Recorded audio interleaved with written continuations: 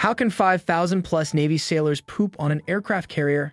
Imagine living at sea in a huge building with thousands of coworkers. It seems like a crazy idea, right? Sailors and Navy officials actually make the ocean their home for the majority of the year. If I think about it, one of the first questions which comes to mind is how do they all go to the toilet? Perhaps that's just my crazy way of thinking, but that's what we will discuss in this video. One of the things we will cover is how many toilets there are on an aircraft carrier, how they dispose of their waste, and how they maintain proper hygiene. So without further ado, let's dive into the world of toilets on an aircraft carrier. Typically, massive aircraft carriers can accommodate over 6,000 sailors on a single journey, which is equivalent to the population of two small villages. However, these carriers are surprisingly confined within a length of around 1,092 feet. As a result, basic necessities like food, water, sleep, and of course, proper sanitation facilities are provided, but they are just the bare minimum. Considering the number of adult men that these vessels need to house, there are approximately 432 toilets on the larger aircraft carriers. This may not seem like a lot, but when you're in the middle of the ocean, you have to make the most of what you have. To understand what happens to the waste material flushed on an aircraft carrier, let's begin with an unrelated story that will eventually tie everything together. In the Navy, using the restroom is commonly referred to as a head call. Despite the peculiar name, this terminology has a technical explanation. On an aircraft carrier, the toilets are actually called heads. This tradition dates back to a time when only the ship's captains had private restrooms near their quarters in the rear of the ship, known as the stern. The rest of the crew had to use toilets located closer to the waterline at the front of the aircraft carrier, known as the bow. The proximity to the ocean allowed the water to flush away waste effectively. Additionally, it's important to note that the ship's movement is typically in the opposite direction of the wind, ensuring that the restrooms are located downwind to prevent lingering odors. However, modern technology has advanced, enabling modern ships to be equipped with holding tanks and manual or motorized pumps. This allows toilets or heads to be installed almost anywhere on the ship. These heads no longer rely on ocean waves for flushing, but instead discharge the waste out to sea. Yet even the flushing process becomes slightly complex, technical, and expensive when at sea. The waste from toilets undergoes a systematic process before being released into the sea, when a sailor flushes, it triggers a chain of interconnected processes that require a significant amount of time, money, and infrastructure to ensure proper cleansing and safe disposal of the waste. Managing the flushed sewage produced aboard a carrier is a crucial task, as it is the most disposable material on the vessel and demands meticulous attention to detail. The sewage cannot be kept on board for an extended period due to sanitary reasons and must be discharged into the ocean as soon as possible. However, there's a catch. Simply disposing of the waste material into the sea without treatment or cleansing is not permissible. The US government has recently implemented new restrictions regarding the disposal of sewage on aircraft carriers. A significant portion of the sewage waste generated on an aircraft carrier originates from toilets, urinals, and end-use scuppers. According to the regulations, the sewage must undergo a cleansing process before it can be discharged into the ocean. Additionally, the ship must be positioned at least four nautical miles away from the nearest shoreline to comply with these regulations.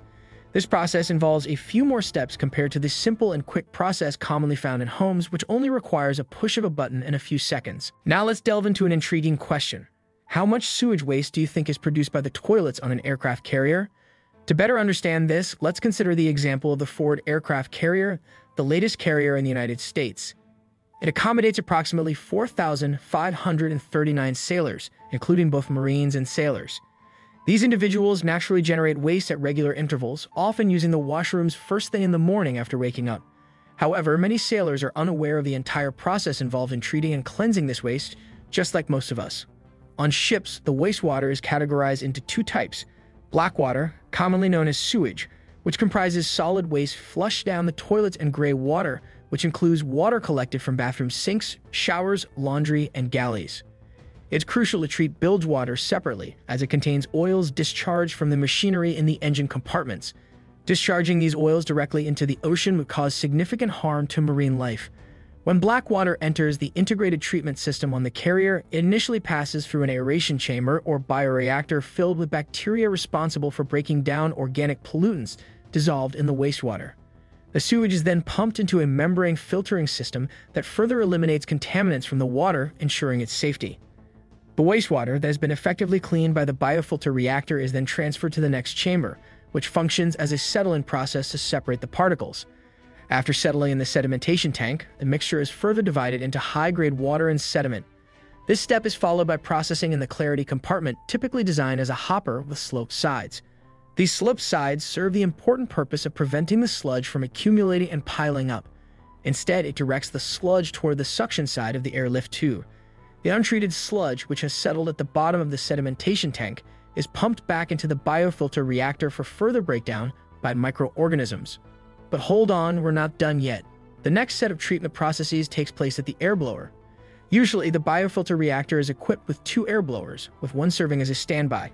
The primary air blower supplies air in the form of bubbles, which aids in the transformation of microorganisms, flushes the sludge, transfers it from the sedimentation tank, and also provides air to the activated carbon tank. Before being discharged into the ocean, the treated sewage must pass through the discharge pump. The discharge pump, located in the final chamber of the sewage treatment plant, is configured in a duplex arrangement and consists of centrifugal pumps connected to their respective motors. The automatic mode of operation of the pump is regulated by level switches installed in the sterilization tanks. Normally, the pump operates in manual mode when removing sludge from compartments after tank cleaning. Now we're nearing the end of the process. At this stage, the water is nearly clean and sterile. Harmful germs and bacteria that could contaminate the water have been fully eliminated, making them suitable for disposal in the ocean. However, the water is stored in a storage tank because gray water, which typically contains only a small number of potentially harmful germs, requires minimal treatment before being discharged far out to sea. It may not come as a surprise, but aircraft carriers often experience more frequent toilet clogs compared to regular homes. This is due to the waste not passing through as easily.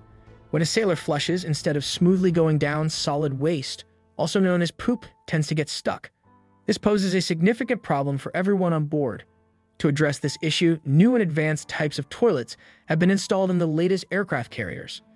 Additionally, the ship's sewage system is periodically cleaned using specialized tools, which comes at a considerable cost of $400,000 for deep cleaning. A congressional audit has revealed underestimated long-term maintenance costs totaling $130 billion. The report states that the new toilets are experiencing more frequent and unexpected clogging, leading to unplanned maintenance. Consequently, stringent actions are being taken throughout the service life of the ship. Many individuals have also raised concerns about insufficient flush suction and narrow pipes that hinder the proper disposal of waste, exacerbating the problem further. Alright guys, that's it for today. Don't forget to leave a thumbs up if you liked the video and subscribe for more.